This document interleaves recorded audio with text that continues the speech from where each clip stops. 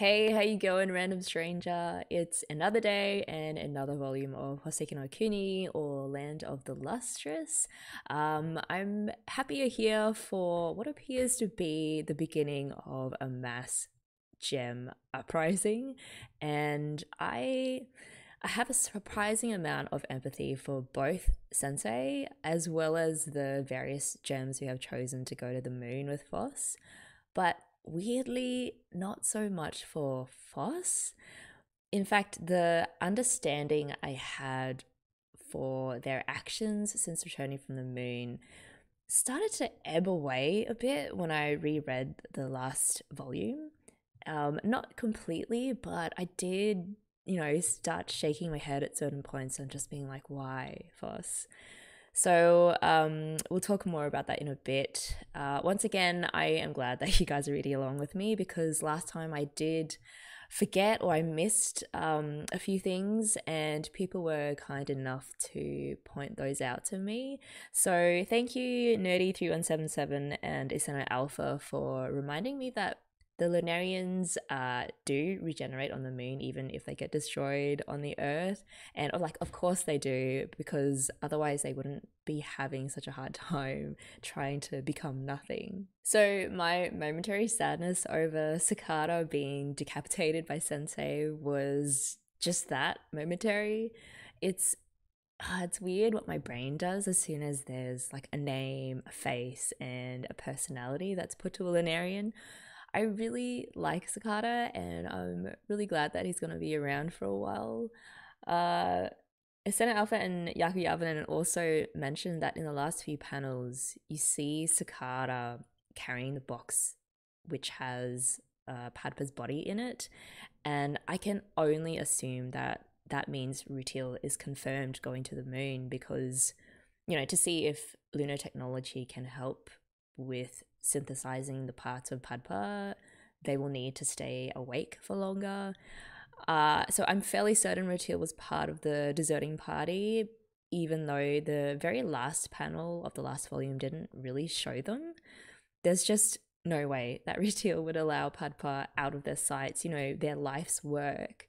Uh, also, I remembered in one of the ending comic strips, Rutile informs a very weirded out Phos that they really love feeling the insides of the holes in Padpa's body, which sounds so wrong, but this is the gem mod, so it is what it is. And, you know, in any case, Rutile would not stand for being separated from Padpa. Last time as well, I went on this tangent trying to figure out what it meant when Aechmea said that Sensei had originally been created to keep the last human from being lonely.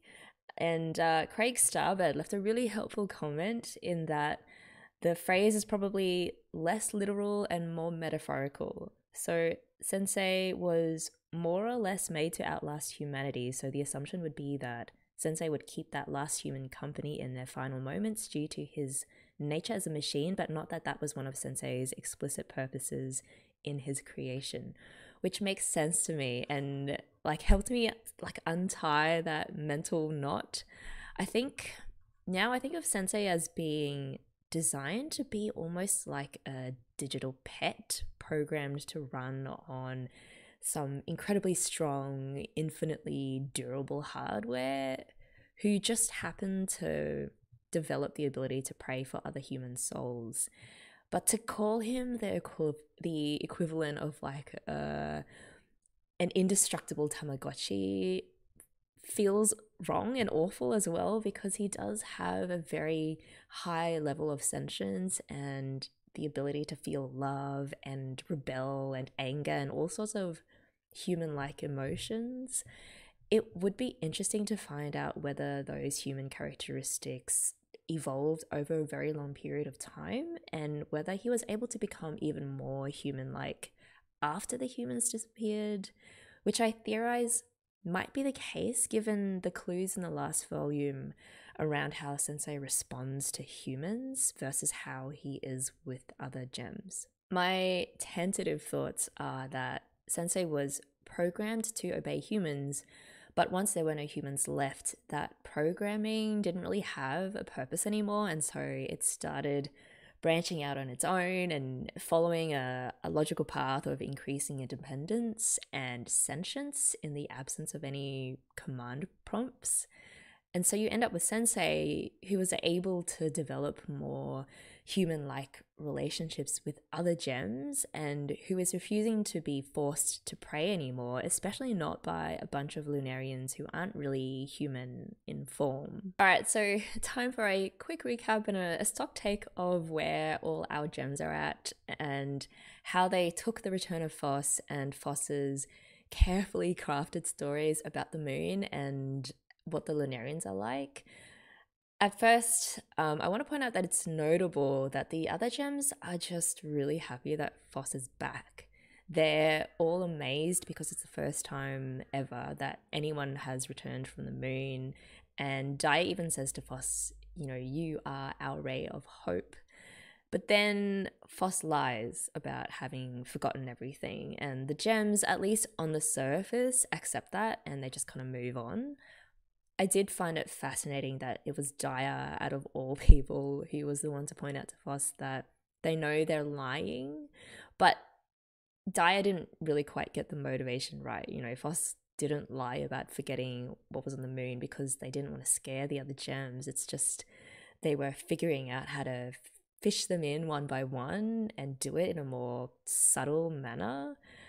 I suspect that if Phos hadn't started seeding those moon stories and sort of tugging on each of their individual insecurities, and of course, if the Lunarians weren't coming back for them, Phos could have just waltzed right back into the rhythm of gem life and everything would have gone on as before, as usual, like nothing had happened, which is the way that the society deals with trauma um, you know, you just kind of let time paper over pain.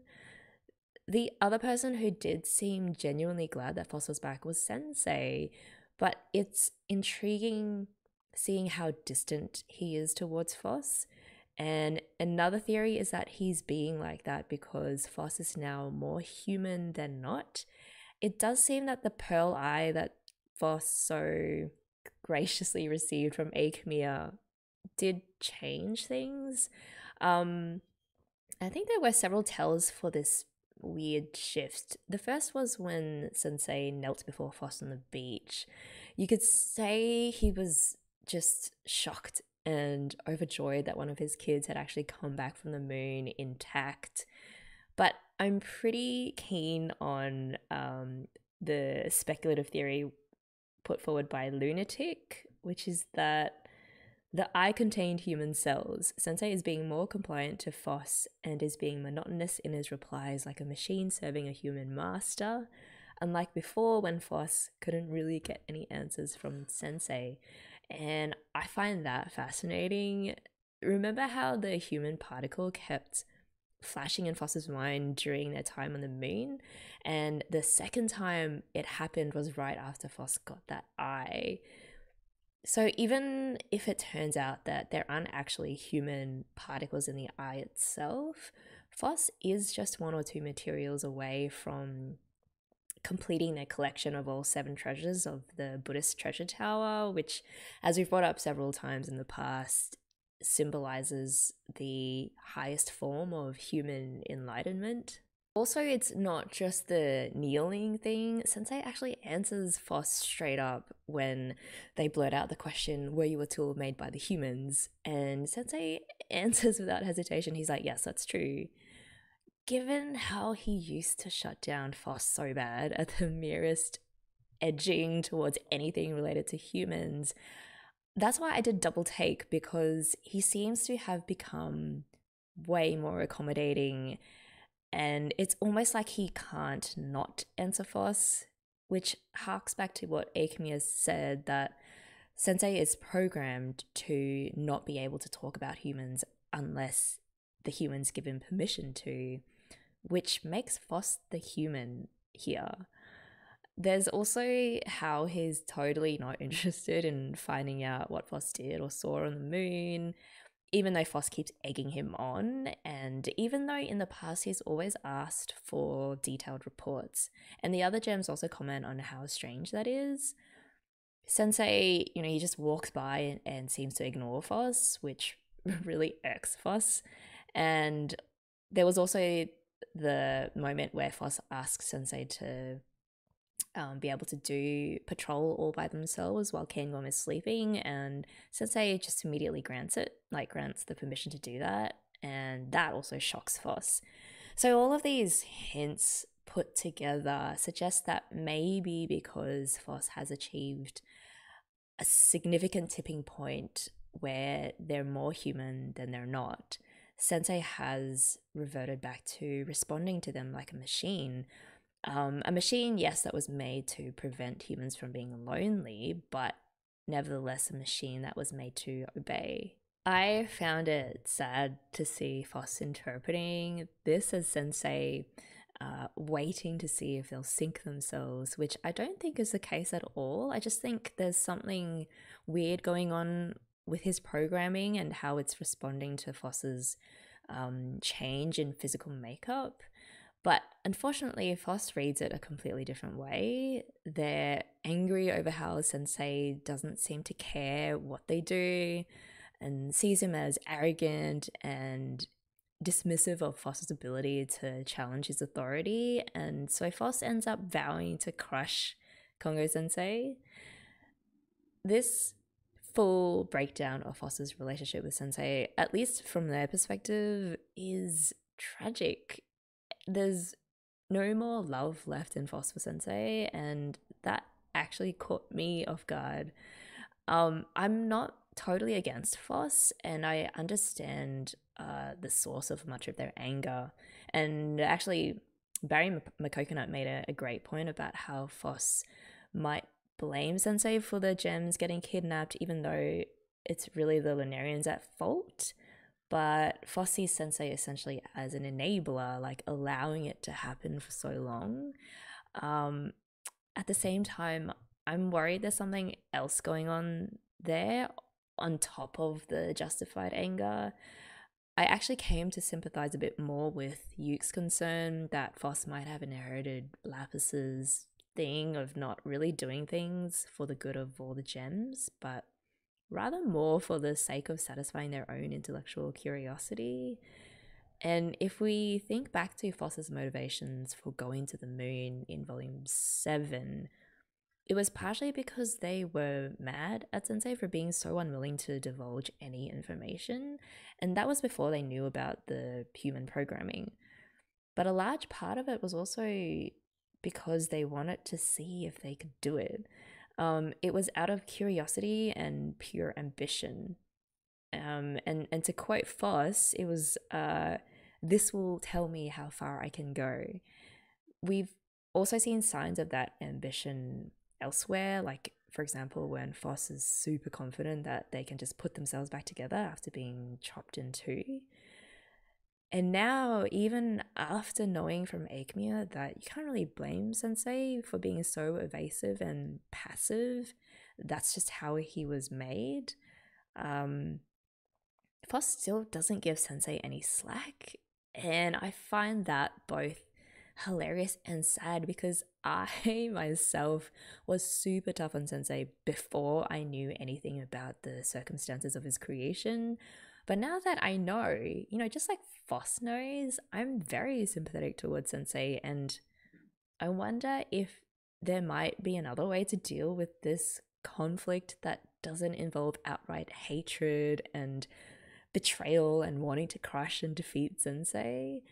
Um, to me, at least, Phos's approach just seems so extreme and might be born of a place where they're also testing themselves to see how far they can push Sensei. So Phos has two types of goals going on here. The altruistic one of ending the kidnappings and possibly giving all the gems closure to their pain, but also the selfish one of seeing how successful they can be in outsmarting and toppling Sensei.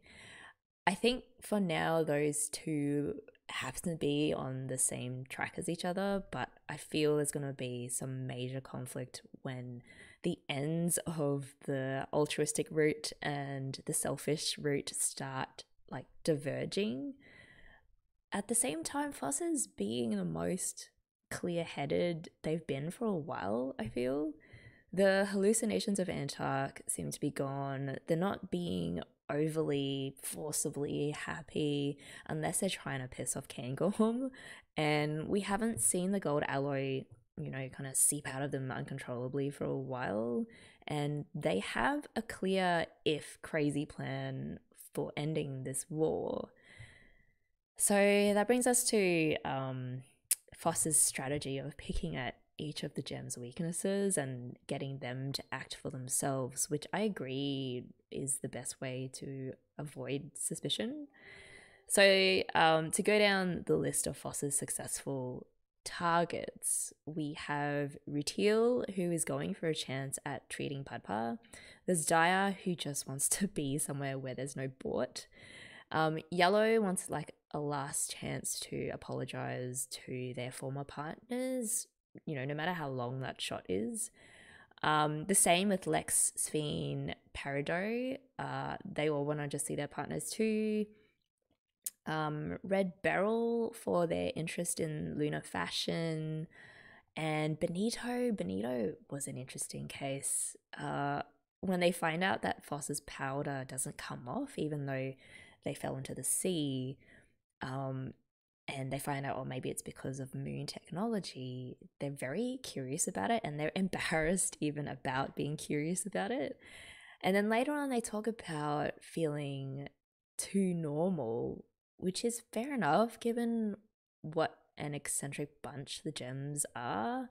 And I found this reason for their wanting to go to the moon the most intriguing because it's like an inversion of our own world usually it's people who don't fit into that normie like square peg who want to escape to somewhere where they can just be themselves. We also have Amethyst 33 signing up for the moon mission after Phos tells them how different the Lunarians are and they wonder whether their personalities would have been completely different too if they just spent some time on the moon. Um, and they reveal that they've been wondering if there's some safe way to practice being apart from 84, uh, which is sad because obviously 84 heard all of that but was pretending to be asleep. So it's actually kind of amazing how Phos has managed to convince so many gems to go with him to the moon. Phos is what the Lunarians have been waiting for for all this time on their own, the Lunarians failed to convince any gem to cooperate, and you know, almost every one of them either self destructed or they lost their minds.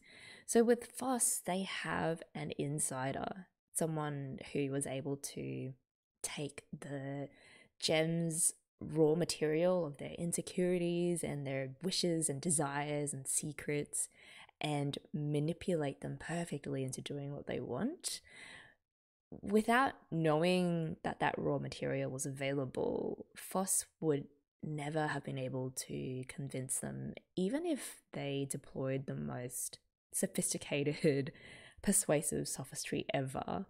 However, it's Cinnabar who rejects Phos outright, which I thought was pretty badass. Um, and they rejected Phos's offer despite Phos telling them everything you know, including how a sensei is a machine the humans created to work for them, that the Lunarians kidnap gems because they want to provoke sensei, and that the plan is to force sensei to work by inspiring anger. And Phos basically admits to Cinnabar that they are cooperating with the Lunarians.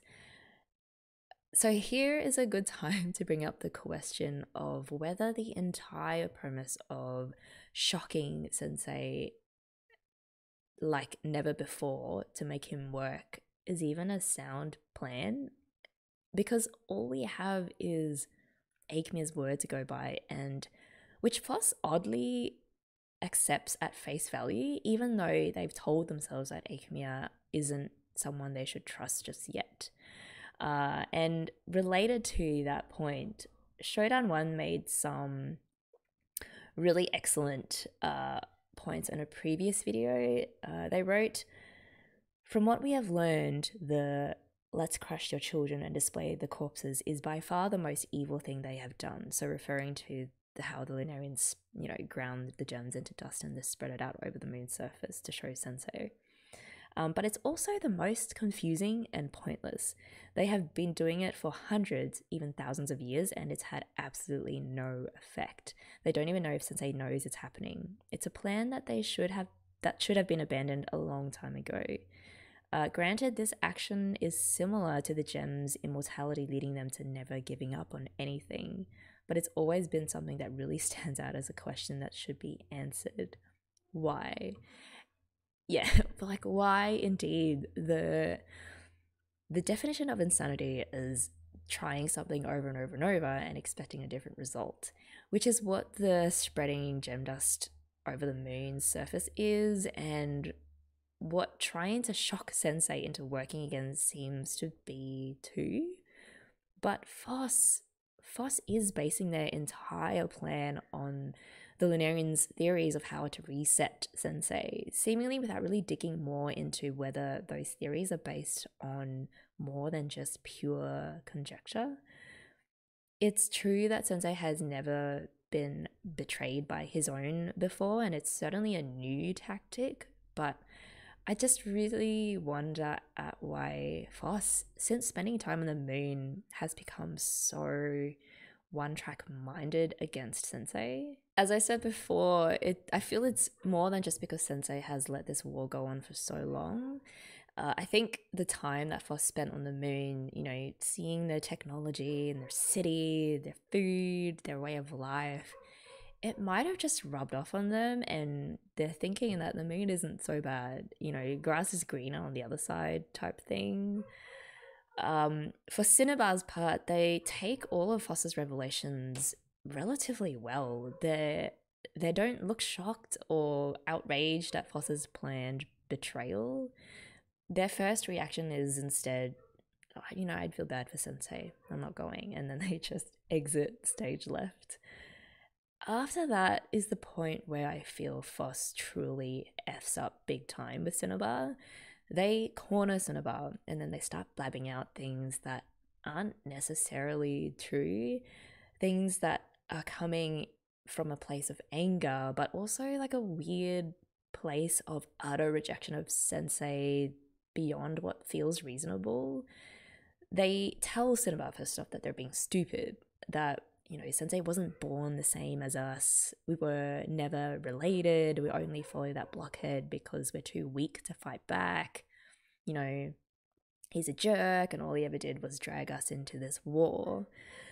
And that whole rant really laid bare Phos's motivations. Like, first of all, concern for Cinnabar and what good that going to the moon would do them hasn't been a priority for a long time now. Secondly, this idea of sensei not being born the same way as them was actually pretty hurtful. Like, does it even matter? At the so at the end of the volume, the last volume in the translation notes, there was a section on synthetic versus real gems. Even though Sensei as a creation of humans is made of like synthesized um, hexagonal diamond and he bypassed the millions of centuries it takes for a gem to form naturally. The process by which sensei would have been made um, would have replicated that natural process and just sped up a lot through, you know, artificial compression. Technically, synthesized gems are gems in all the ways that matter. So they're identical in appearance and chemical composition. So Phos drawing this like arbitrary line between real and fake and family and not family was a bit bizarre and kind of bigoted to be honest. Um to bring it back to like a real life parallel, it sounds like that small minority people in the world you know, in every country, in every people group who cling to these fictionalized ideas of what makes someone deserve to be or deserve to belong to a certain national identity. You know, they have to be born in a certain place, have a certain lineage, um, look a certain way, which is all bullshit, right? Like group identities and histories are as malleable as liquid and there are other values that matter more than birthplace and bloodline.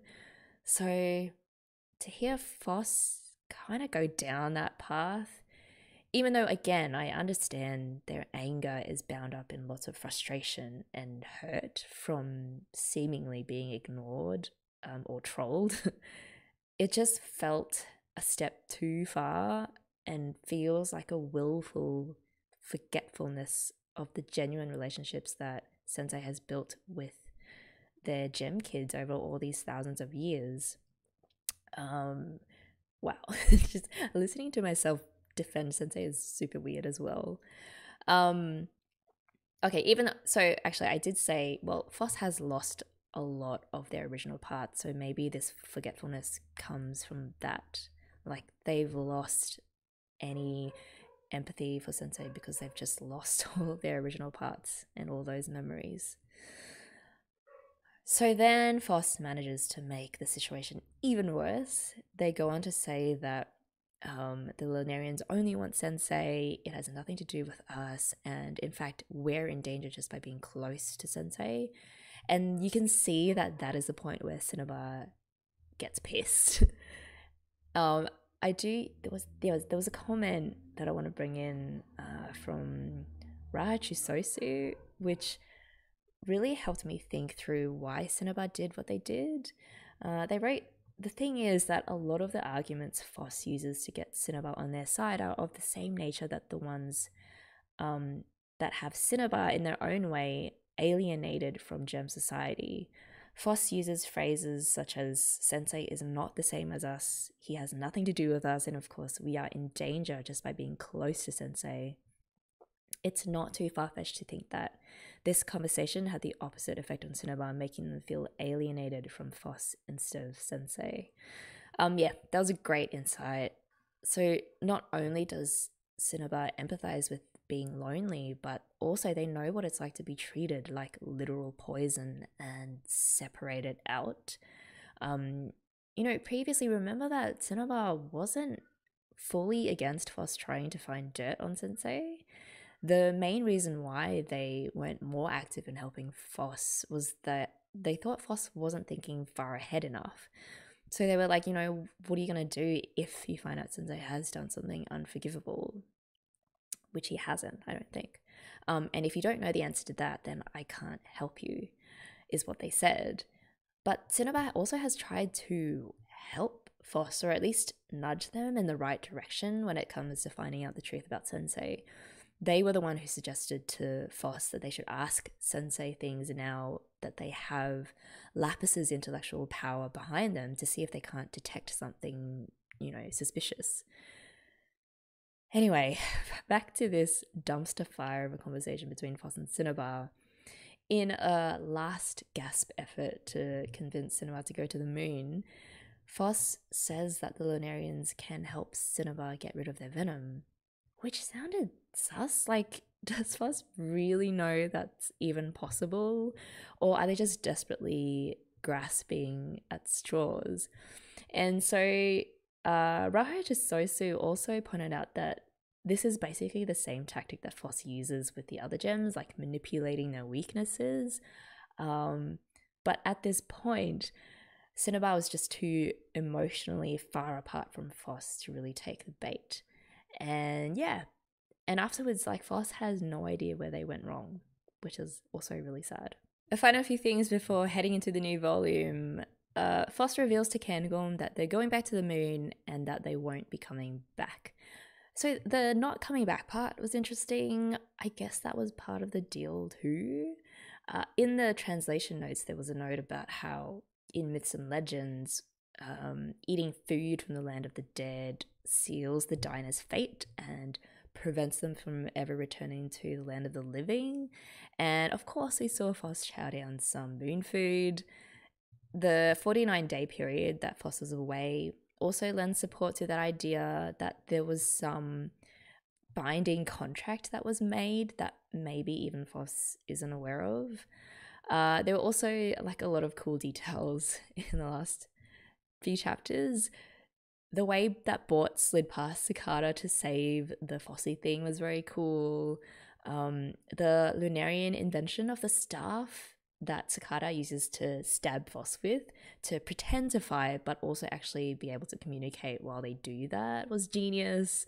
Um, I love that Cairngorm was very worried who would do winter duty uh, after Phos asked them to go to the moon with them, which is very Antarc like, like that sense of responsibility. And lastly, in the final panel, we see uh, Alex is blindfolded and they're also holding onto Benito's hand, I think, which was very cute. Uh, and so that brings us to volume nine at last. Okay, starting with the cover page. It's Phos in their regal Lunarian outfit. And it's interesting that it's Jade and Yuke on the cover with them, the two gems, of course, who are the most suspicious. Um, kind of think that Phos is up to no good. But the way that they're looking at Phos is so respectful and loving still. Alright, volume 9, Haruko Ichikawa. And I wonder whose leg that is. Probably should be able to tell from the shoe. Is that Cinnabar? I don't know. And it looks like it's snowing something.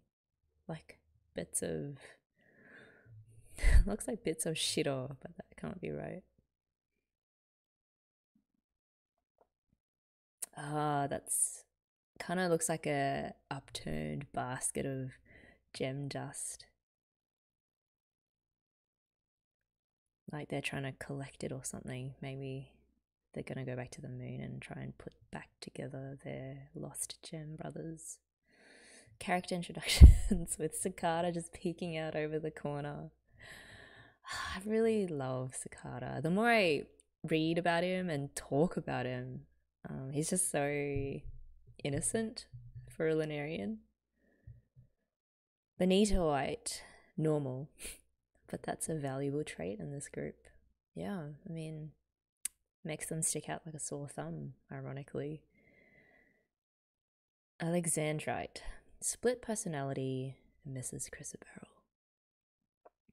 Oh, it was something else that I didn't mention from last film. It was interesting that Yuke saw Alex's hair flashing and um, turning different colors, staring off into space.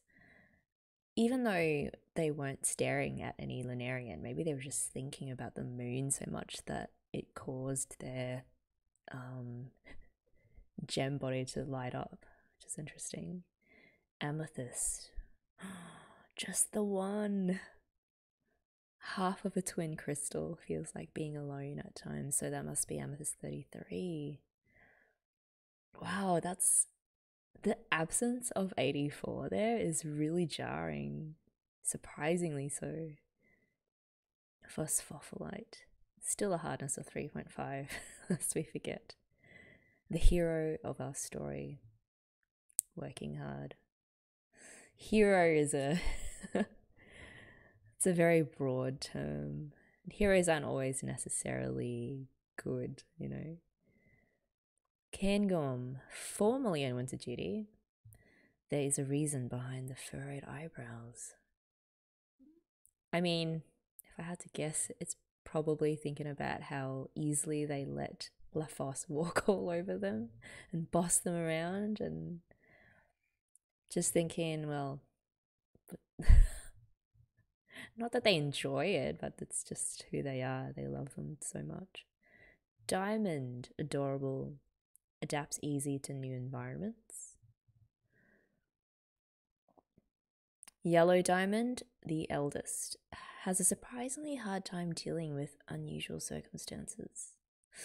That, oh, and they go into the moon. I don't know if that's foreshadowing of something bad happening to Yellow up on the moon and Dia, of course, adapting very easily to it.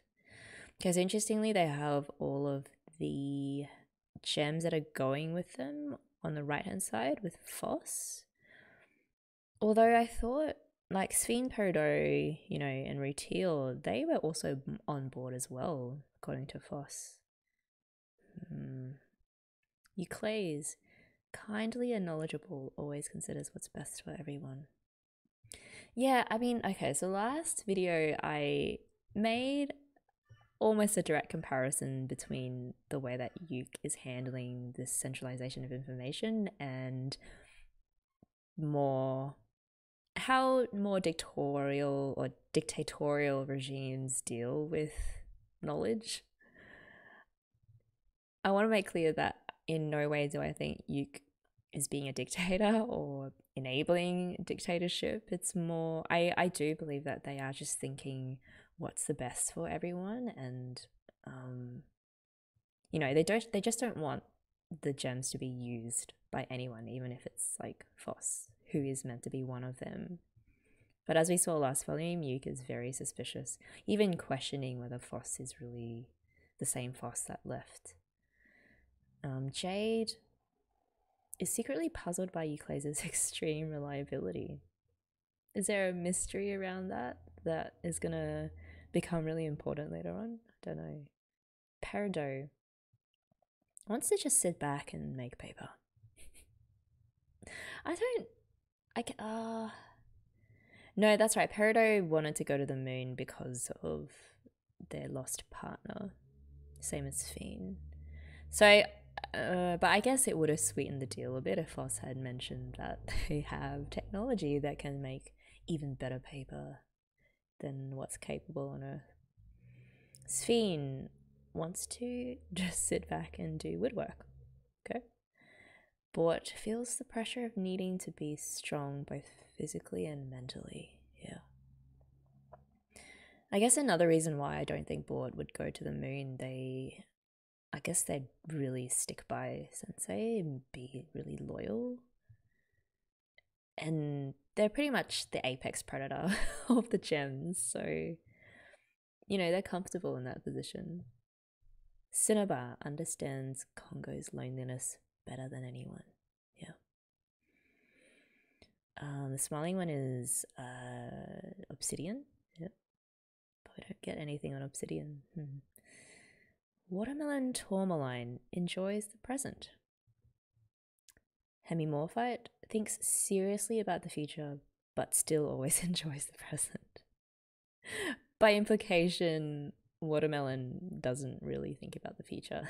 uh, Rutile, formerly the delinquent doctor, formerly, question mark, only thinks of Padparadscha. Yeah. What are those boxes that the uh, gems on the right hand side are sitting on? It looks like Lunarian furniture. Oh, interesting. So they're all sitting on what looks like very obviously to be sculpted, um, dare we say man made objects. And then on the left, the left hand sided gems are sitting on a tree trunk, it looks like. So something natural. It's again that um, divergence between what's natural and what's synthetic or made by something, someone. That's cool. I don't know what that big cloth thing is. That Sensei's robes? And I feel like this is the first time that Sensei hasn't been included in these character introduction sections. Hmm. Okay. Here we go. Contents. Chapter 62 Distant View. High Hopes. One day. Today. Mm, freedom. Oh, a chapter for Cairngorm, just for Cairngorm. Change. Constancy. It's interesting contrast. Before dawn. Land of the new labels. Mm, it sounds uh, red barrel associated. That that last one. Mm, interesting. Okay, you guys ready? Let's do this. Uh, chapter sixty-two, distant view.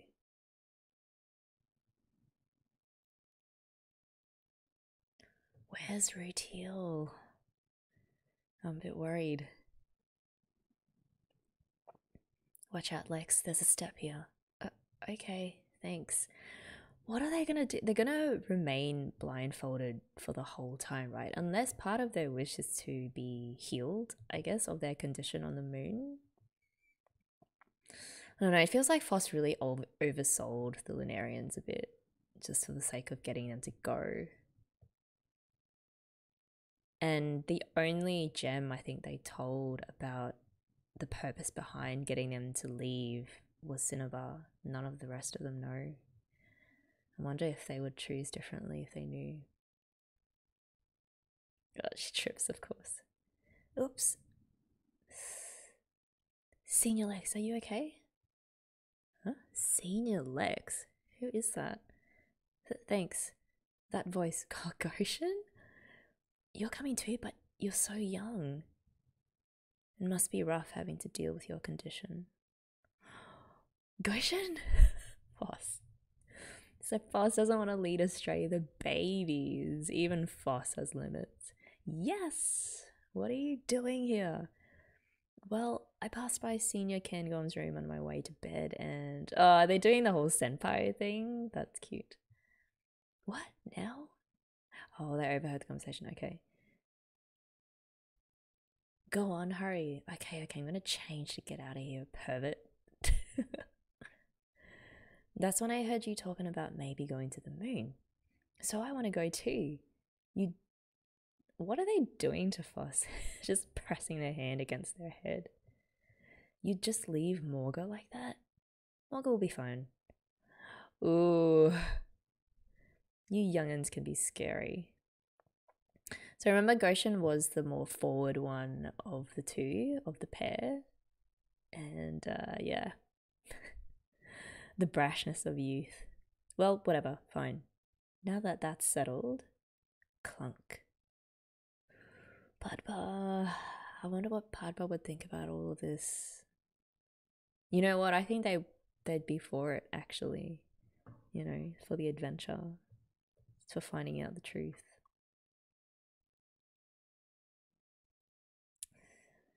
Although I do think they would see through a lot of Phos's manipulative techniques and tactics and be like, I'm not going with you until you give me the full story, like they did with Cinnabar. Hmm. Listen, everyone. If you want to turn back, this is your chance. Two, three, four, five, six, seven of them. Yeah, Rutile is not there. Dang. Except for Cairngorm. Hey! Why am I the only one who doesn't get a choice? Well, you're my partner, aren't you? Oh, so sneaky and shifty. You got a lot of nerve for a gem who's pretty much been asleep through our whole partnership. It's true over a hundred years. Phos, don't worry. You're not the only one to blame here. We each made our own decision. Yeah, agreed. The thing is, they made their own decision without full information, you know, with Phos withholding the most important bits. Uh, it just feels just feels dirty. I don't know. They've stepped onto the Lunarian platform.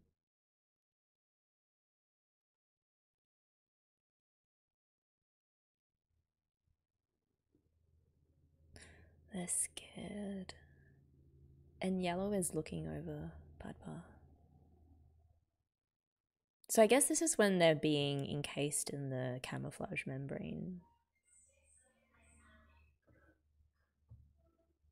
Yep. Rutile didn't go with them, damn it. But they let Padpa go. Whoa. Now that I think about it, I can't go to the moon with all my responsibilities here. And I definitely can't take Padparadscha with me. Without me, who would be here to fix everyone? I want to get Padparadscha moving again. Wait, it doesn't seem like they know. Oh shit.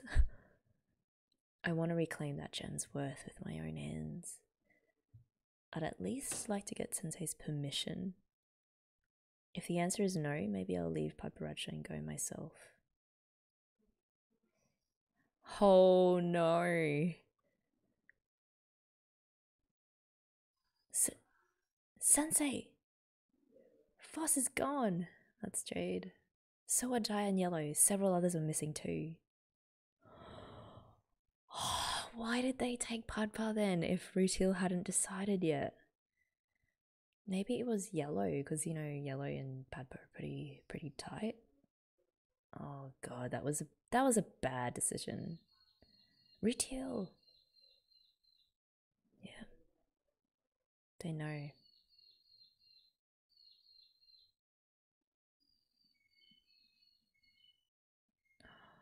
Their hair's out.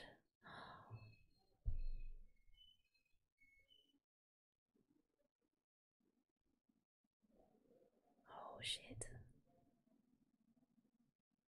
Those the cracks in their face. Wow, this is the very first time that we've seen Rutile so um moved unbalanced so much so that cracks appear in the body. That that piece of slag. Oh, Phos. And the others went along with it as well? Wait, sorry, I gotta go back and see if they actually knew that taking Padpa was part of the plan.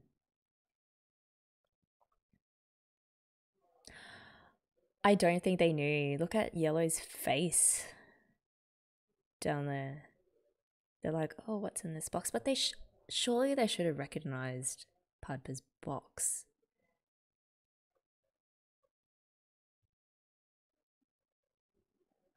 God, Rutile. Rutile, Yuke. The Cape of Emptiness. Boingy boing what is happening? Jen's just coughing a feel. I've never actually touched a Lunarian before. Boingy boing fluffy fluff. Okay, so Sakata's loving this. This is Sakata, who is actually very nice despite appearances. It feels strange. You're way too buddy buddy with the moon people can go on preserving a healthy amount of skepticism, even though they are, you know, still following along with Phos's wishes. So, Phos, why do we bring Padparadscha? Why did we bring Padparadscha? What? Oh. I don't want Rutile to have to work so hard. Oh man, remember that? I guess that's what Padpa said themselves. Like they don't really want Rutile um, slaving away on this one thing on them. Interesting also that Phos forgot for a sec there.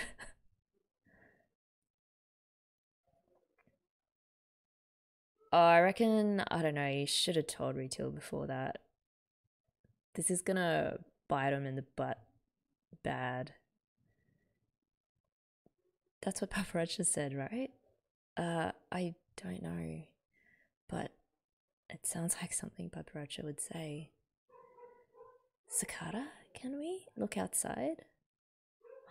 He's being such a good boy.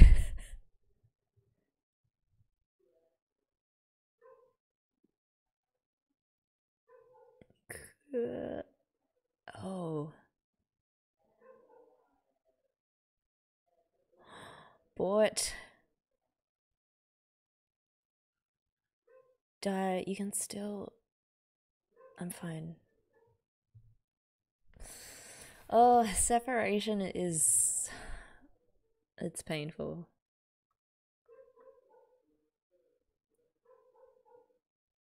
that gem does stand out, even from this distance. They're all in their sleeping robes, I guess. And Rutile has just gone unhinged. Look at the hair, you know, the nicely done hair is all out. It's cracks all over. Their facial expression. Man, I bet they feel so bad. And they're gone. It's cinema. Just watching them disappear. Someone's rung the bell. Gong. Is that Phos staring down at Cinnabar just with her kind of like a look of affection? End of chapter 62.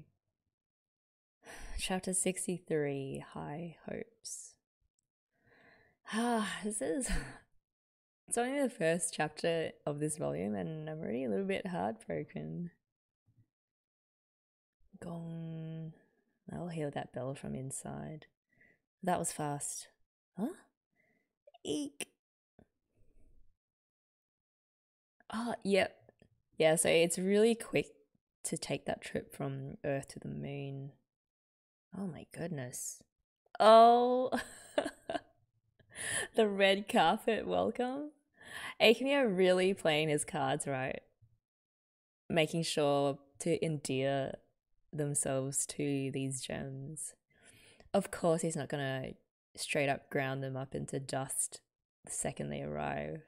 He's got like he's playing this longer term game, and that's so crazy. Look at all those like Lunarians down the bottom, like they're greeting a celebrity. Like at the Oscars or something. So it's confetti. Oh, is that what was coming down on the cover? It's like moon confetti. Flash. This is this is crazy. Look at those Lunarians like kneeling down before them. Like making sure that cloth thing is straightened out.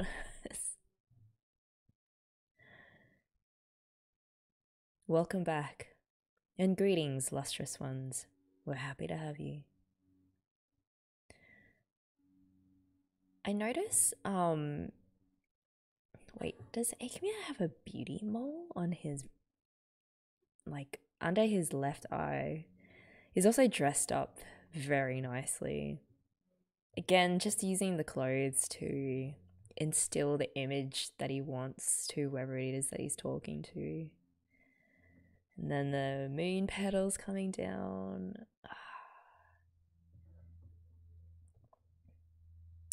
I don't know if Phos is a match for Aechmea's scheming. I think Phos is in a way being played just as much. That's a Lunarian too? It's talking, right? Right. Okay. Yeah, so on the moon, everyone, all the gems can understand the Lunarians. Aechmea. Twitch. Would you please not call me by that name? It's embarrassing. You and your hang ups. That's right, they um you don't want a name because your goal is to become nothing and by putting a name on yourself and an identity that's the opposite of the direction you want to be going in uh, these are the gems i convinced to come with me benitoite looks so nervous alexandrite goshenite Uh, Cicada just freaking them out. Just being a big friendly puppy, you know? Diamond. Cairngorm. The furrowed eyebrows. Yellow diamond. 33 of the amethyst twin crystal. Actually, I'm 84. Oh, sh- they took 33's ticket. to the moon. Everyone's like, what? oh, I love all these twists we're getting just straight up. Really? Really?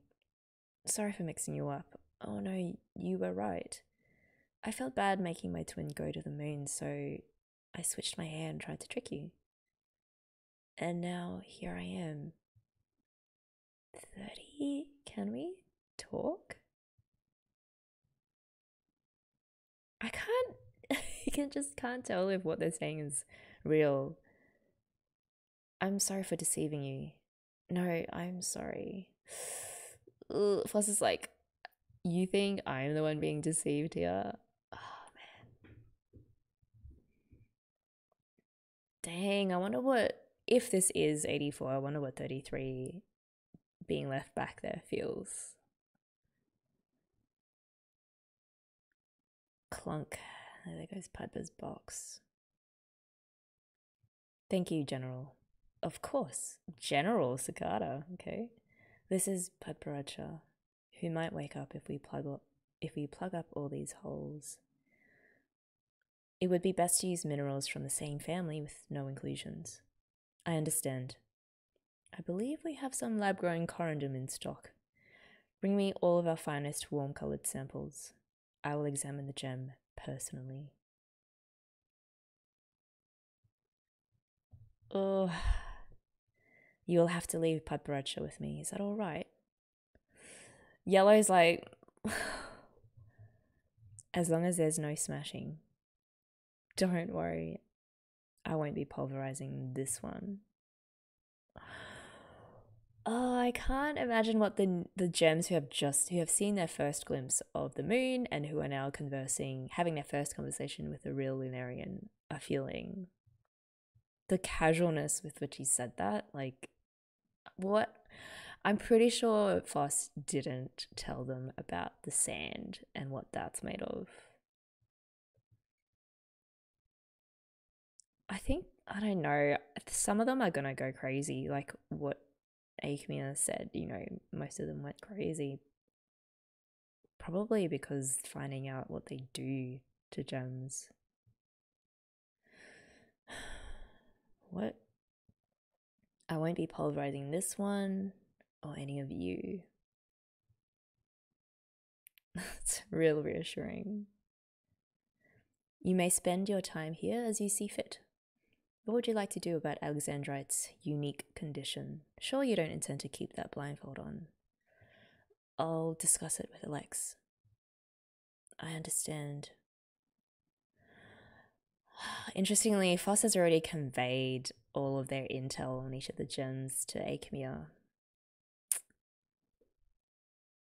Now, if you'll excuse me, lustrous ones, I hope you'll make yourselves at home.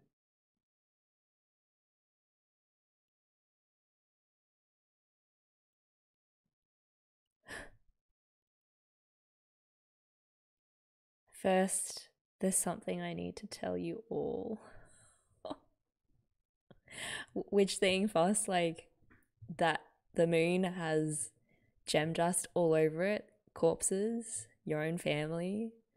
That sensei is a machine that you actually orchestrated an entire betrayal of the one person they all love the most without them even knowing it. Look, even though they all chose to go to the moon and leave Sensei, I don't know if I think they thought that it was temporary and that it was something like, you know, a quick trip to the moon and back kind of thing.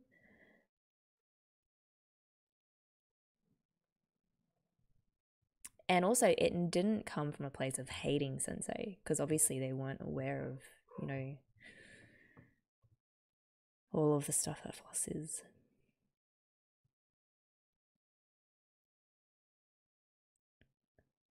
You mean.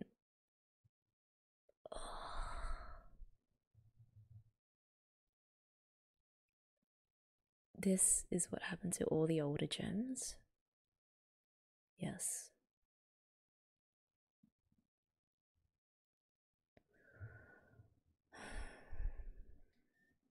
They're all on their knees in the sand. They were all ground into powder and strewn across the moon. The pieces that we previously took back from the Lunarians gave us so much hope and despair, but they were all fakes. It was all part of the Lunarians' plot. They gave us fake pieces that were made here. That's why, no matter how long we waited, we were never able to fully repair a single gem. It's all part of the plan I told you about. Their plan to get Sensei working again. Hey, come on, do you actually believe everything that Aechmea told you? Cairngorm, thank you so much. I wouldn't trust a word that Lunarian says. I agree. But not everything I heard was a lie. I asked Sensei directly if the tool for the humans thing was true, and Sensei confirmed it. Seriously? Sigh. I wish I could have asked a lot more questions. But I'm way scared of Sensei, much, much more so than I was before. I just couldn't do it. Are you sure it's not just because you felt guilty? yeah, thank you.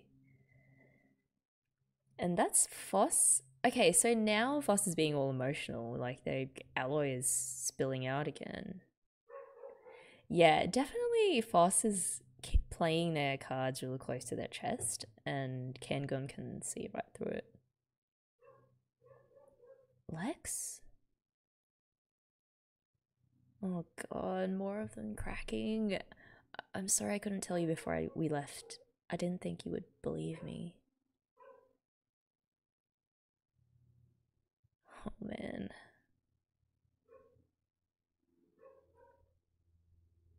This is crazy. Like, we've seen two gems now that have cracked because they're so emotionally overwhelmed. Like, for the first eight volumes, none of that other than Phos. Um, and well, Cinnabar, Cinnabar had the whole Mercury, you know, rushing out of them. But this is, yeah, the other gems never. They were just all pretty chill until now. I'll talk to Aechmea about putting everyone back together.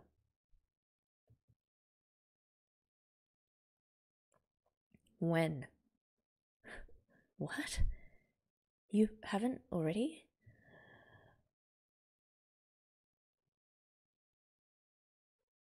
Uh, well, you know, I needed to get the Lunarians, or actually Aechmea, to trust me enough. Otherwise, it would have been tough to negotiate for anything. Oh my gosh, are they? They're cracking too, right? That's yellow and bonita white. Alright, I'm going.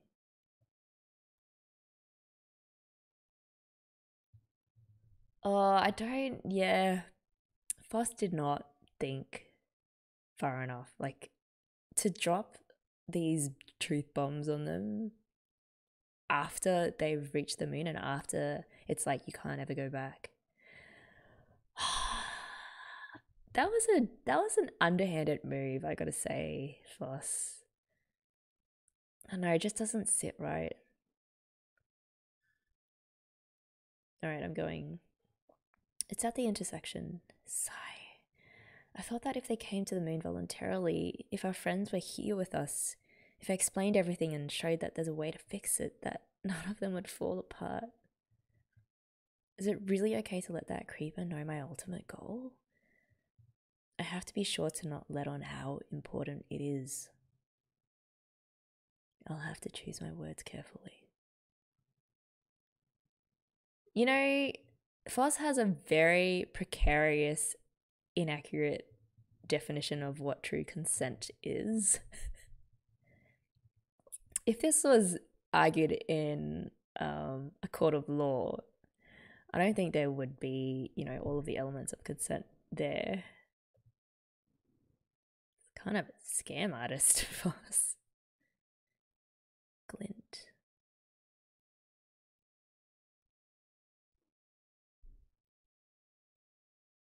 Eh?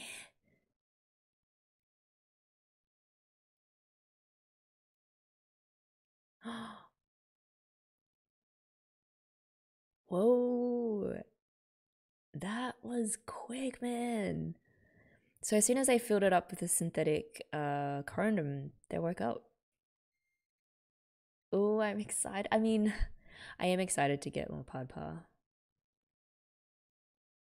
Rutile would be so pissed, I think, knowing that it was a Lunarian, first of all, who solved this problem that they've been trying to solve for thousands of years in a like in an instant.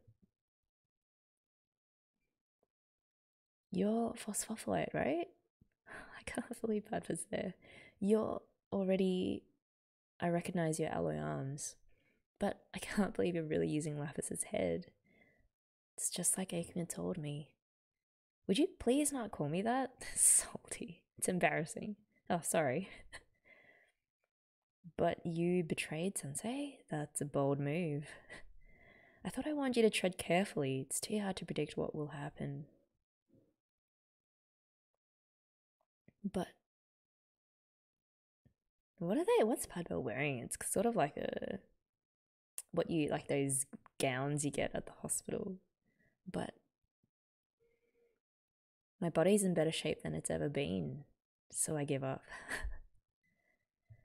I'll be doing a post op exam later. I'd like to get some data.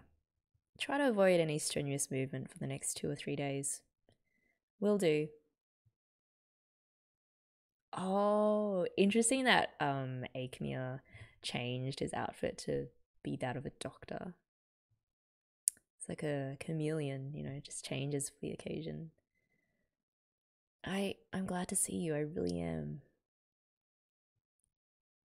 Can you change gems back from powder too? He's gonna say no, isn't he? Making the glasses disappear. I'll try.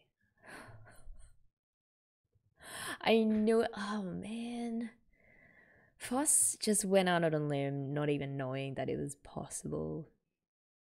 Really?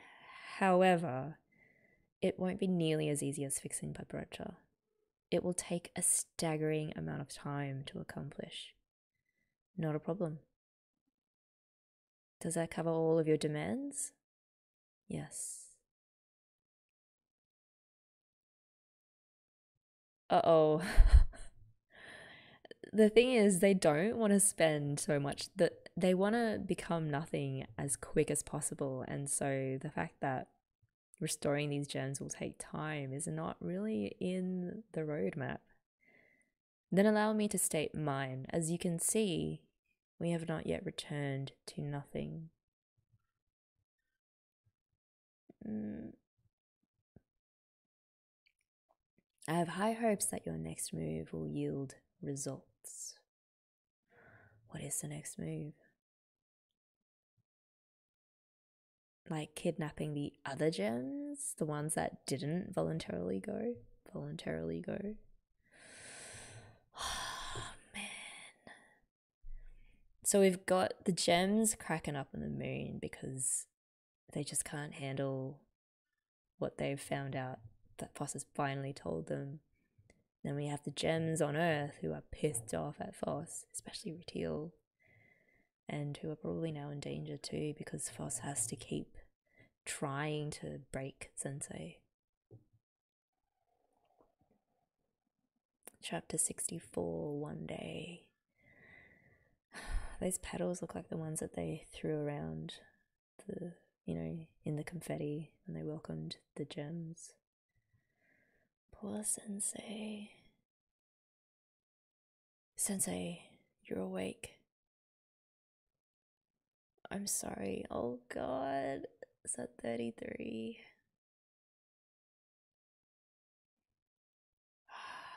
What they're so devastated that they've been separated from their twin finally, even though it was something that they thought they wanted.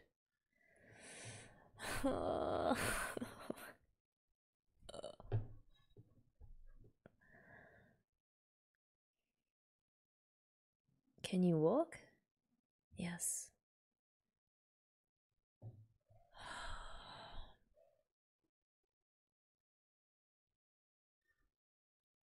That's. Do they what? Everyone is cracked, but Red Beryl went to search the cliffs at the shore of Nascency and hasn't come back.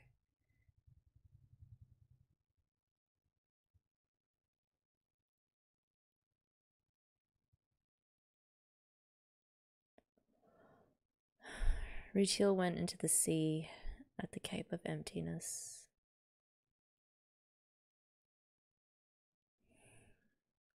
Okay, so this is Sensei collecting all of his broken kids. Yoink.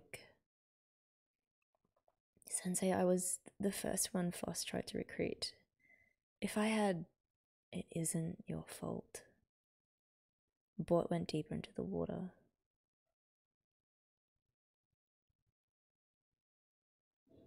With the jellyfish, no doubt. Oh, this is uh Sensei putting the doctor back together. They're barely even holding themselves together at this point. This is everyone. So Sphene and Peridot didn't end up going either.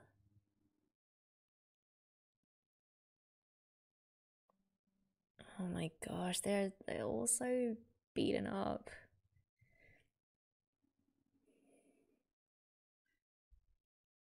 If as if they weren't already not like traumatized enough already, they have to deal with this.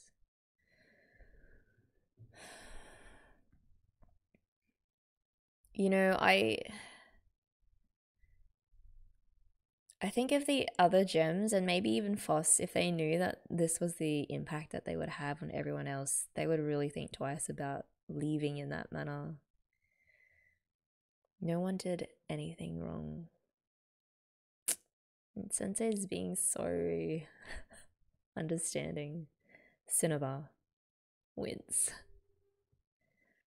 I'm glad you came. Please come a little closer. A little closer.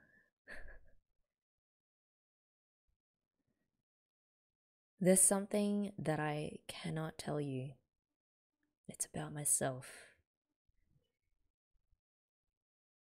To you, it may sound impossibly confusing and illogical in the extreme. There are things I am forbidden to communicate, so I cannot tell you everything no matter how hard I try. But I will tell you everything I am able to, and I hope you will listen.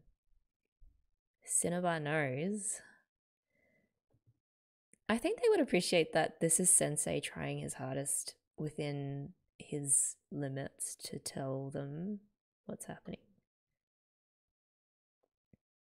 I wasn't born the same way any of you were.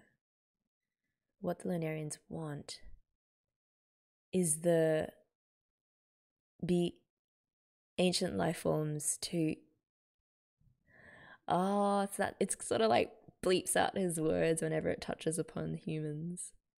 In other words, they want me. Everything would be solved if I were no longer with you. I wonder if you could write it on paper. No, but then, I don't know, it'd probably disappear or something. Wouldn't be able to make out the words. But I cannot destroy myself. And as you all know, it is extremely difficult for outside forces to damage me. after the dot, dot, dot, I was alone on the Earth's surface for many years, okay? Then one day, the show of nascency. Who was the first gem? Was it? Oh, look at his outfit. Look at his. Is that a bag? Your kind appeared, a new form of mineral life. Red Diamond was the first to be born. And then reaching out to Sensei. It is sort of like a baby, like, you know, reaching out for their parent for the first time.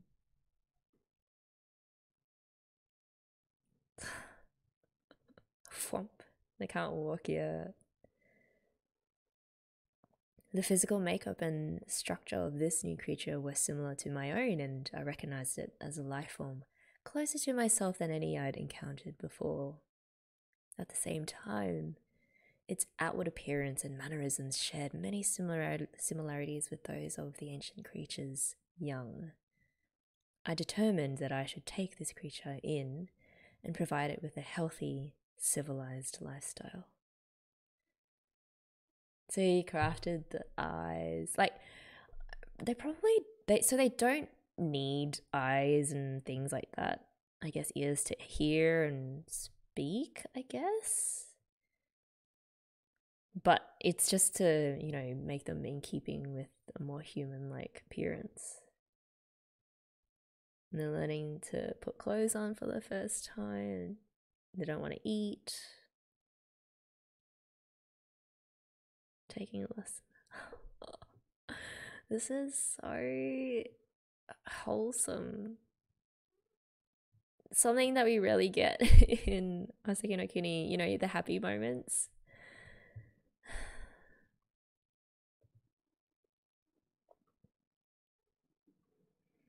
Why are we different colors? Your red color is caused when nitrogen gets into the crystal structure during the growth process and creates a deficiency in carbon atoms, creating an extremely rare red. I want to be the same as you. That's why they do the powder. Look at that face.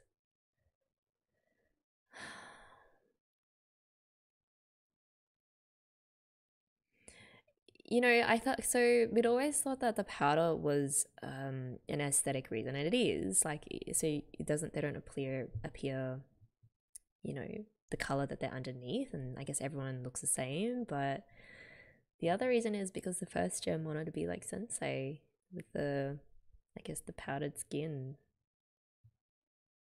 Uh-huh.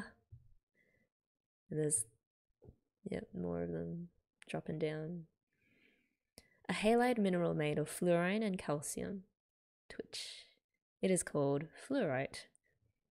Its chemical makeup is rather different from ours, but let's help. This one is soft. We'll need a facility to provide shelter from sand and dust. We'll carve out that large quartz stone and make ourselves a place to live.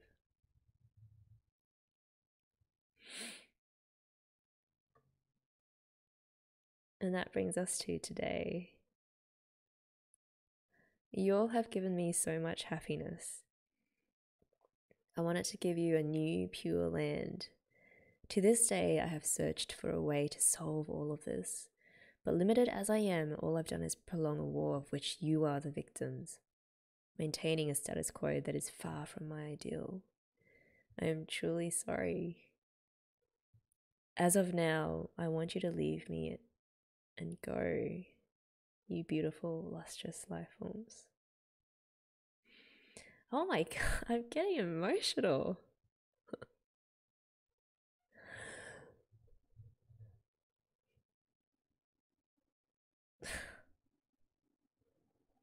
I feel so bad for all the times I ragged on Sensei for being like a unnecessarily mysterious, but this is so sad.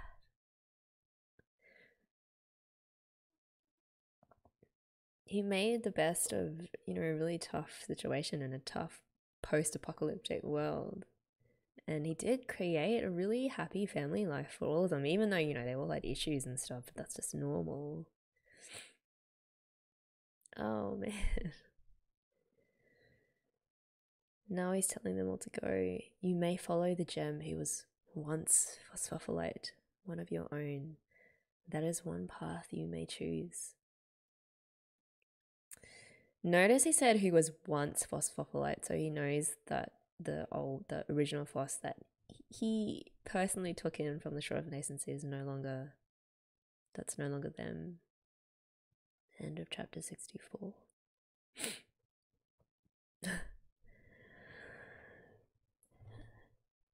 it's amazing that a manga can, you know, stir up all these emotions even like it's without you know moving pictures and music and no angle well they are angle shots with how it's written but you know what i mean like i guess because we get so much more backstory and details and insights into the different relationships between all of the gems with Sensei and then with each other. It just there's so much more emotional fodder there. It's amazing. Chapter 65 today. What are they going to do? The things I have done to you can never be forgiven. I recommend that you follow your, your fellow gems and remove me from your lives. This is just mind bending.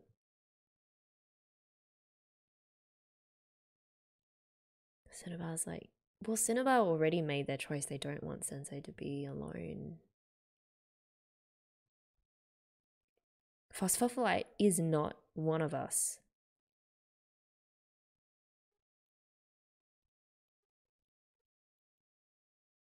Oh, but.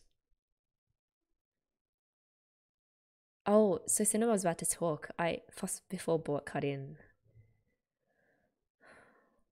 That traitor found easy targets to test and deceive. It was devious and arrogant. I could never follow such a coward.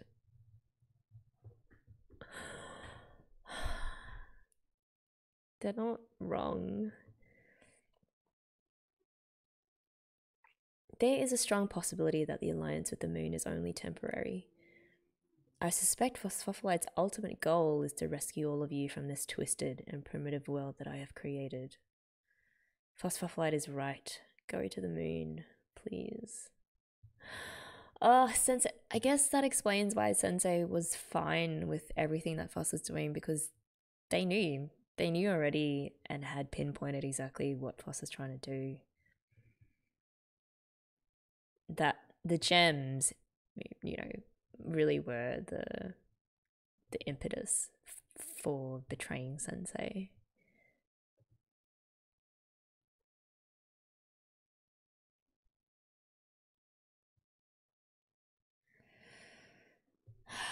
Bort, yeah, Bort is very a really good general, you know.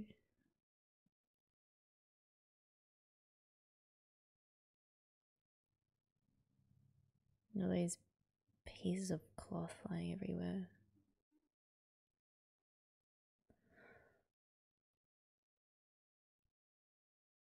Eh? Wait, someone's about to touch Sensei. It's nice to meet you, Kongo. Oh. You've lived a very long life. It must have been so hard. My name is Euclase, and I suggest a do over starting today. Oh? Uh.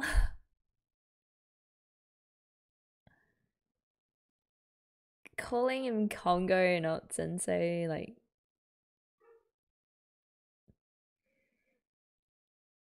The things I have done to you can never be forgiven there is no way to redo them. If we cut all ties to the past just because it's a twisted one, then we will be young and immature forever. If we start now and work together as different beings to make up for each other's shortcomings, we should get different results this time. Yeah. What do you think? Yeah, okay, so the significance of Yuke calling Sensei Kongo by his name is like a mark of equality, right? As opposed to treating him like this senior authority figure that is always right and can make all the all the calls. Uh, tolerance and equality. Those were held up as ideals in ancient times, but they never lasted long. Oh, talking about us here. I know what you're trying to say. You think that my idea is a little naive. I cannot make that decision. Oh dear, well, I still think it's a better idea than Phos's. Would you mind waiting a moment? I haven't used this function in a long while. Function? What is it gonna do? It doesn't work very well. assuming that the correctness of phosphophyllite's actions is outside our predictive capabilities. And considering that your proposal is an unprecedented one, befitting future life forms, then for the time being, I'll allow it. what? Oh, okay. I so that kind of fits in with. So he's trying to bend the rules of logical construction that have that he's been programmed with in order to allow or not allow certain things and with these rules you can always if you're smart enough and can find loopholes you can bend them so that you can actually do what is new like what hasn't been done before that's so interesting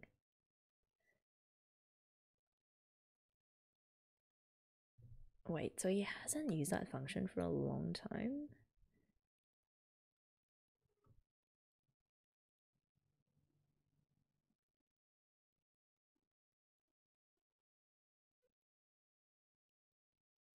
Huh.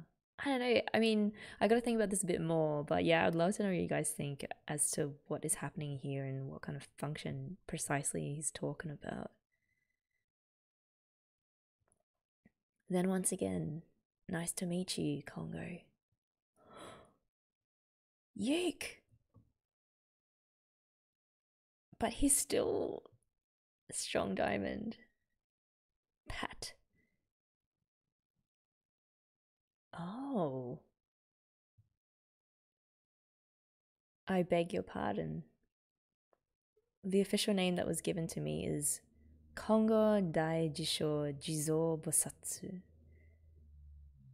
I can touch all of you directly without triggering the hypersensitive reaction that shatters you. This is the one thing I intentionally hid from you. I am sorry. Oh, okay. Oh, that was the function that he was talking about. Okay. By nature, I am more suited to taking a subordinate role. I look forward to working under you. D- don't be our subordinate, be our equal. I've seen your darkness. I will try. The hardest thing for me was to act like a leader in front of you all. Yeah, okay, so yeah, so the whole he was programmed to be a subordinate underneath humans, and yet for all this time, he's been able to maintain this sensei role with all of them. Hmm, interesting. I had to make sure I was always scowling. oh man to think that they spent all this time being kind of scared but also really love sensei and now they're finding out that it was all a charade what are we going to do about Padparadscha? We'll come up with something. I'm going to the moon. Oh man, Rutile. Huh? I don't think I like the moon. No mean. I want to start over with Sensei. Stay out of this, pipsqueaks. You're young and have nothing to lose. Stupid little twerps. Hey, enough of your PDA. oh dear, dear. What about you? I'm staying here. You're not even going to think about it? Blues would say Yuka's right. Yeah, I think Topaz would too.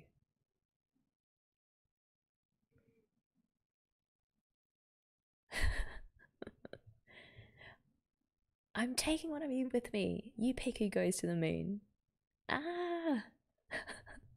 Is that Rutile still going on a rampage? Hey, who's talking to Cinnabar? You started to say something before I spoke. No, I didn't. Yuke's gonna come up with a plan. Come with me. No, I.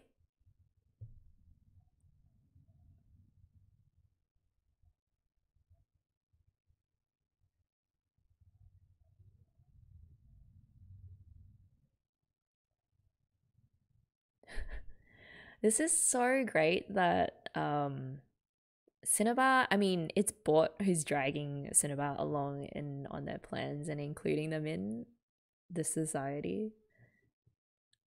The shock on Cinnabar's face at being included. This is what Rutile used to look like. Yeah, brings back memories.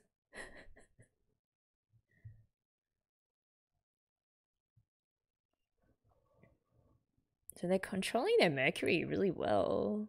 I mean, Rutile is scarier than the Lunarians.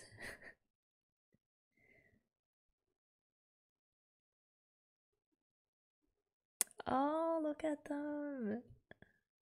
Everyone just kind of surrounding, well, talking in a group, and Cinnabar's right in the midst of all of that. Oh man. again, I just I can't shake the feeling that the way Phos engineered the deception first of all, and then the uh, way that they left everyone in the loop. I mean, in the lurch, not in the loop, out of the loop actually. That was just not the best way that they could have done it, and I think they've done a lot of damage to the relationships and also to their own plans as well to shock sensei obviously they're adapting to this new order of things and sensei has even become more open with his gem kids well equals now. And the lunarians aren't going to be happy because they're still there on the moon Chapter 66 Freedom. Even we Lunarians are incapable of hating Kongo. Huh. It's interesting to know. You might call it an armor of love. Hmm, hmm. what? Have you heard about that yet? The prince wanted to know. Huh? No, I haven't. That was my prince impersonation. It was spot on. Now let me show you all to your quarters. Wait, what about the armor later? What? No. Now, now, everyone is waiting for you. This way. The armor of love. So, that is what enables Sensei to refuse the Lunarians what so i guess that's what is preventing him from going absolutely berserk according to their theory of having to reset sensei. It's that he loves the gems so much that no matter what they do he'll just accept them as they are and not go psycho and it won't break him because he loves them so much. And he understands them the same way that he totally saw through Phos what Phos was trying to do and just let them go ahead with it Ah, armor of love. Why is everyone waiting for them? Who's everyone? The other gems? Look at that mansion. Holiday mansion. What is this? Like four seasons or something? Is that a reception down there? Look at that uh, the deck up the top with the umbrella and the deck chairs. You see those like lotus uh, flowers as well. Wow, it's life of luxury. Wow, this room is huge. We renovated your lodging facility, Great Phos, and added a room for each of your friends. Oh, I I see. to solve your old problem with swarms of admirables before, after. We mixed the, constric- the construction materials with the scent they don't like to make sure they wouldn't bother you. It stinks. Whoa, pee. I wonder what that material was. Oh, I see. These two individuals will be your concierges. If you have any complaints like the pillows being too hard or the temperature being too low, please allow them to help. I need you to fix my friends that you ground into sand. oh man, Phos. I think Phos is getting a little bit desperate now because they promised, you know, especially promised Yellow and the others as well that they would be able to see their former partners. With conveniently leaving out the fact that, but first we have to reconvert them back from sand, which we don't really know is possible yet. so we've got two concierges, room service, and all that, I'm sure. Padparadscha? Yellow, oh man. Pat, wait. Splush.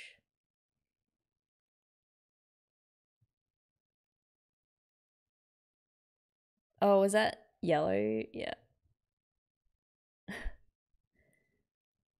you see how efficient they are? Oh, so they're the ones that, of course, they know how to put back gems. You know, they've been constructing fake ones forever. These are the two. These are the two who repaired your friends earlier too. They have all kinds of qualifications. I wonder if they have like counseling qualifications too. Uh huh. Oh, Pad Pad, Yellow reunited. Those two are gonna have some really interesting conversations.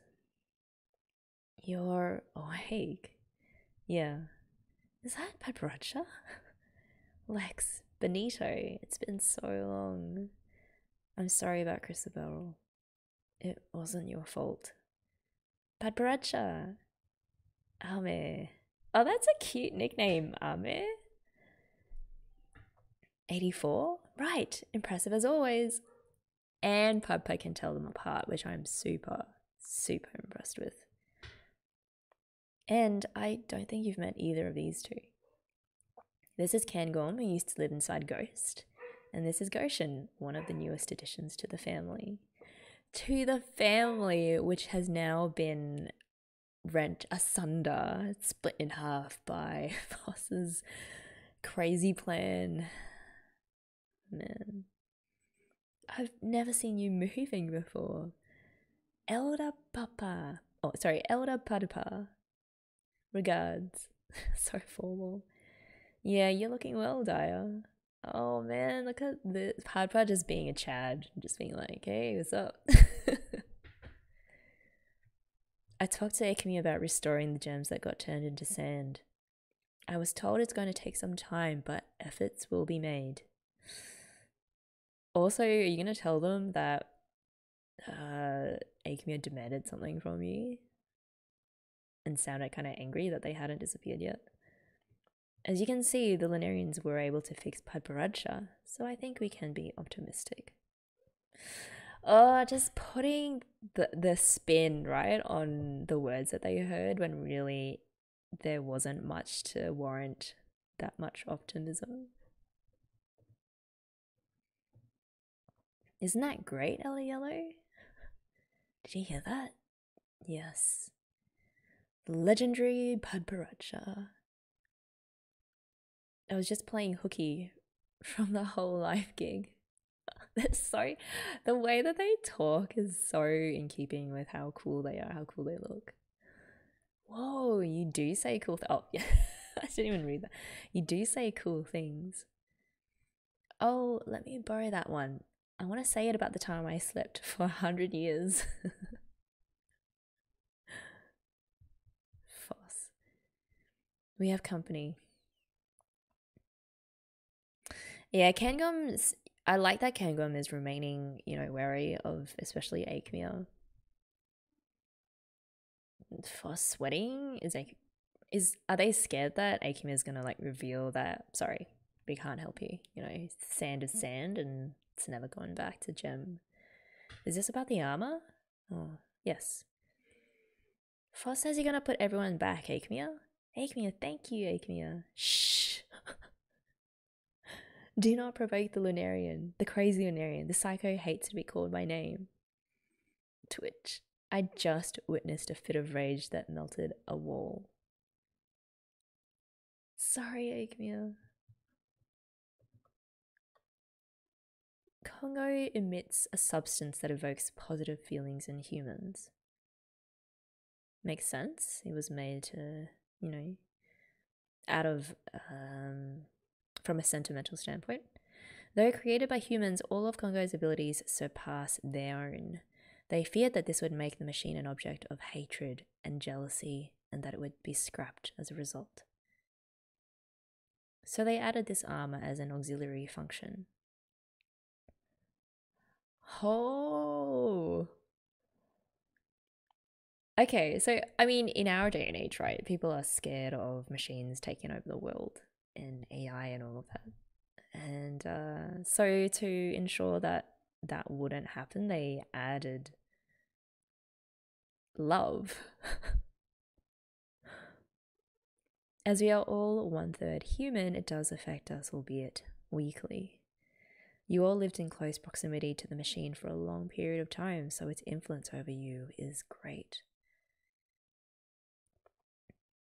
Oh, you will harbor an unconditional love for Kongo despite the obvious differences between you, which causes you fragile, breakable gems to instinctively act in pairs. You spread yourselves out over your admittedly small land to watch out for our attack. I could hardly call it an efficient method for protecting your race. In fact, this formation is more suited to protecting a specific entity at your center, Kongo.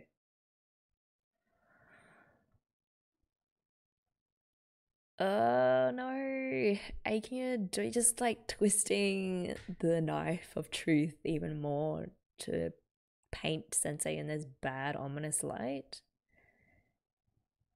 Wait, okay, let okay, so he's basically saying that the only reason why the gems feel affection for Sensei is because of this ingredient, this armor of love that he was that was mixed in by the humans. It's not actually rooted in any real relationship. And again, he's using, he's basically repeating what Phos said, just in much more fancier language. That um, Sensei isn't the same as them and is really just using them to protect himself.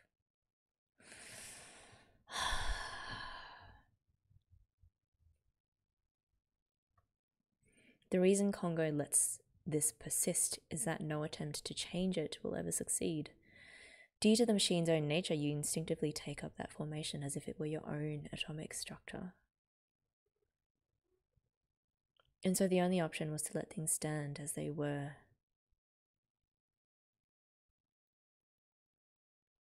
Now I have a question for you.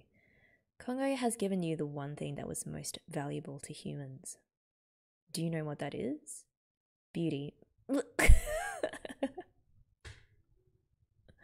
of course, coming from the vein of Phos. Well, yes, that is valuable. Compassion, dire, pep, Mis- mischievousness, adorableness. Yeah, that. Kindness. I love how they all respond based on personality. The correct answer is freedom. The machine never locked up any of its precious, precious gems. Kongo doesn't have much to offer you, but that gift was the most sensible. Perhaps it was a response to the severe restrictions that Kongo is subject to, or perhaps the tool wishes you to be something resembling the human masters it once served.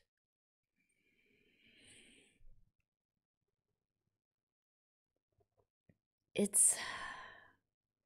And is he slicing another eyeball? Like another pearl eye, maybe?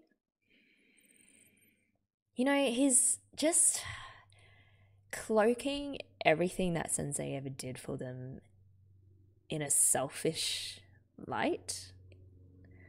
Like, so what? Like, you know, things like being able to let them choose their own paths and loving them, um, creating a family like atmosphere. All of that is good stuff. Like, that's good. He's all linking it back to how Kongo is just using them to recreate his fantasy of living with humans again. I do not like Aechmea. And it's odd because obviously at the same time that they're having this conversation, Kongo Sensei back said to the gems who are back on Earth, you know, that they can choose to go to the moon or not. Like that's the ultimate gift that he can always give them. It's freedom. But she can is great. Like that doesn't make Sensei, eh, you know, this evil mastermind that is playing these mind games with the gems. Now that you have left the Earth's surface, Kongo's influence will gradually wear off. I want you to take back your senses and your pride as mineral life forms and join with me. True freedom is something you should claim for yourself. That is all. Now you should get plenty of rest. So just make me a giving Sakata that meatball, whatever it is. True freedom is something you should claim for yourself.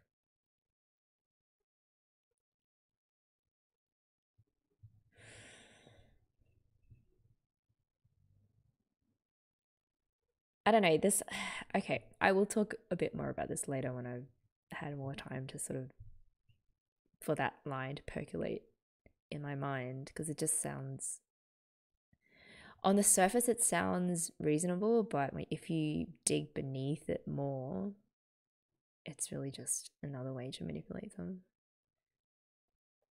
i want to take Padparadscha in yellow and launch a night attack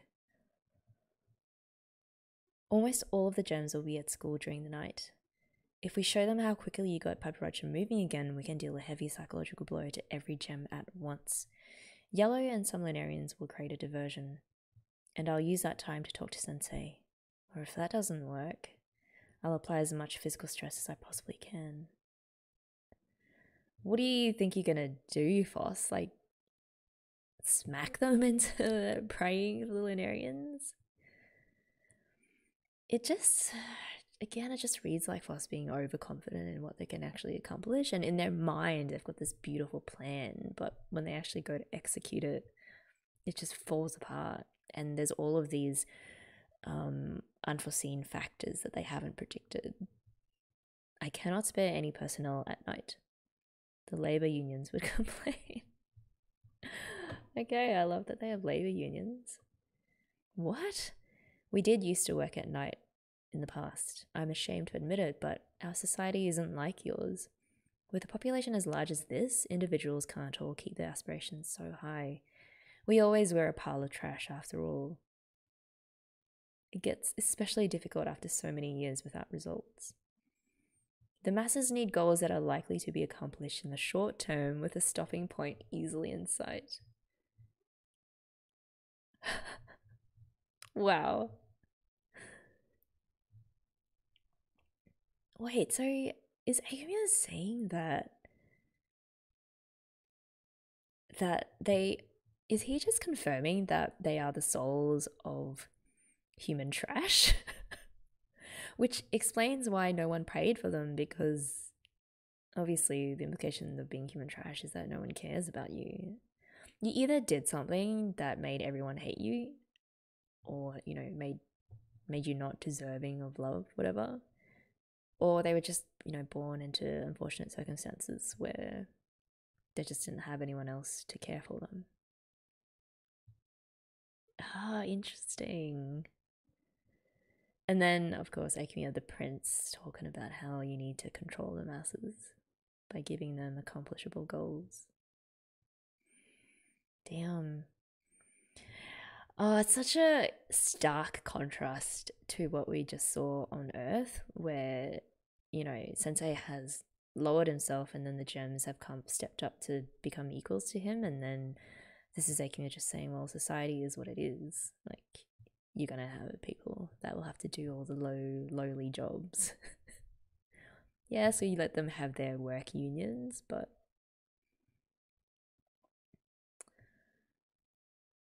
your your night attack will have to be just the three of you. Will that be all right? Prince, please let me go with the noble Phos. Sakata.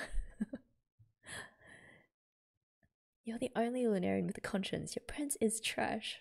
Okay, well, Phos can be pretty front in front of Aechmea. Only to operate the machinery. Don't evaporate on me.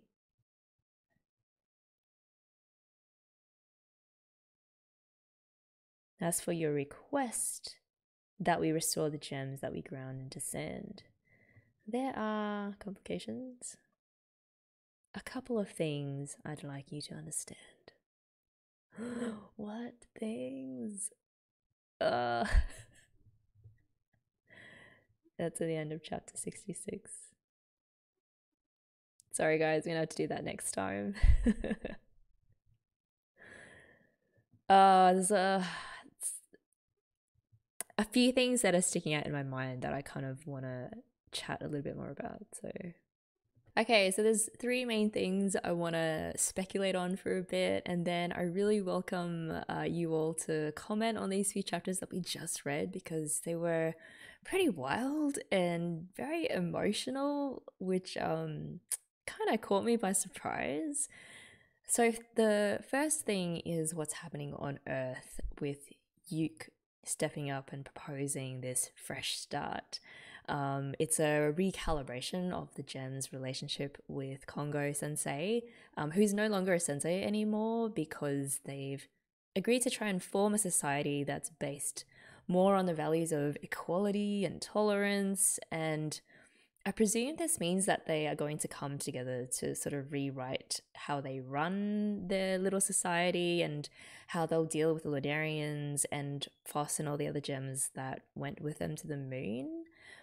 Um, I, you know, feel pretty good about this plan so far. Something will probably go wrong knowing, you know, Houseki no Kuni.